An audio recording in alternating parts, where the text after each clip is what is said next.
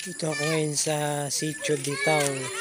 Ang tabangan Nueva Ecija. Kung mapapansin nyo, napakadilim. Ano? Ang gamit lang dito ng ating mga kababayan ay solar lamp. So, wala po ditong linya ng kuryente. Kung, kung walang, pa, may mga insekto pa na pumasok sa bibig ko. May,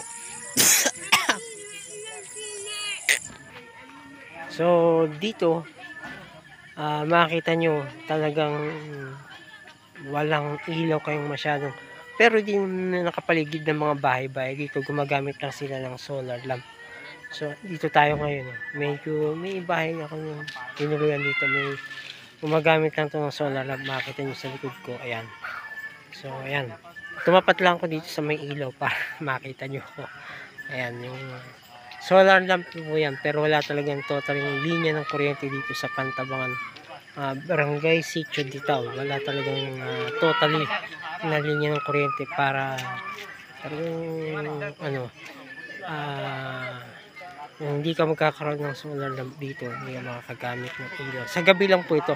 Pero sa maghapon na kan nakakonto nagcha-charge. So meron na tayong pwedeng tatapatan ng solar lamp. So nandito tayo ngayong araw na to na bumisita kanina at kasama natin yung mga kababayan natin Aita dito sa Barangay Sitio. Dito ayun no? Medyo may na sila no? Ayan